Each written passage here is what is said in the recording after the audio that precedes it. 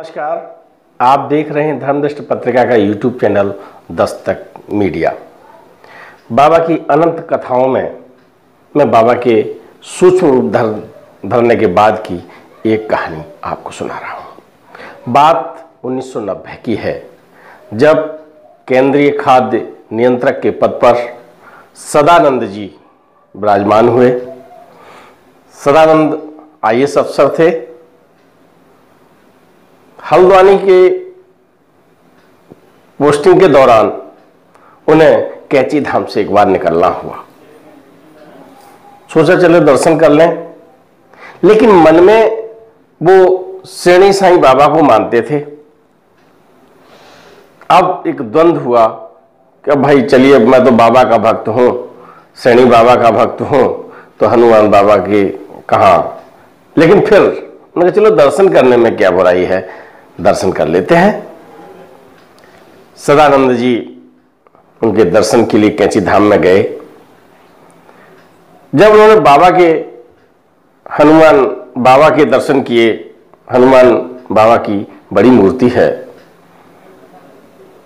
उस समय उन्हें यह आभास हुआ कि यहाँ साक्षात बाबा बैठे हुए हैं। लेकिन जब नीम करोड़ी बाबा दिखाई पड़ते दूसरे ही पल उन्हें श्रेणी बाबा के दर्शन होते। ये थोड़ी देर चला, उन्हें अपनी आँखों को मसला। कि क्या पता कि हनुमान बाबा हैं नीम करोड़ी बाबा हैं श्रेणी बाबा हैं, कुछ उनकी समझ में नहीं आ रहा था। कभी बाबा श्रेणी के दर्शन होते, कभी नीम करोड़ी बाबा के दर्शन होते उन्हें ऐसा लगा कि ये दोनों शक्तियाँ एक ही है। वो वहाँ से चले गई लेकिन मन में ये रहा कि ऐसा क्यों हुआ? वो थोड़े दिन के बाद फिर वहाँ पहुँचे और हनुमान बाबा के सामने बैठ गए, आँखें बंद की और कहा कि शक्तियाँ यदि एक हैं तो हमें एक रूप में दिखाई पड़ी है।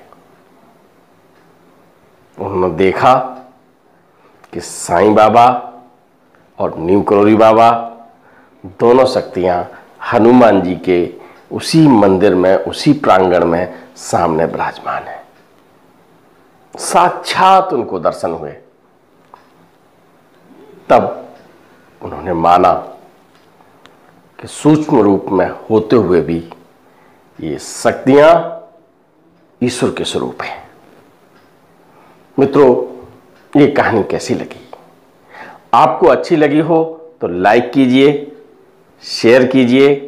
यदि आपने हमारे चैनल को सब्सक्राइब नहीं किया हो तो सब्सक्राइब कीजिए। जय हिंद।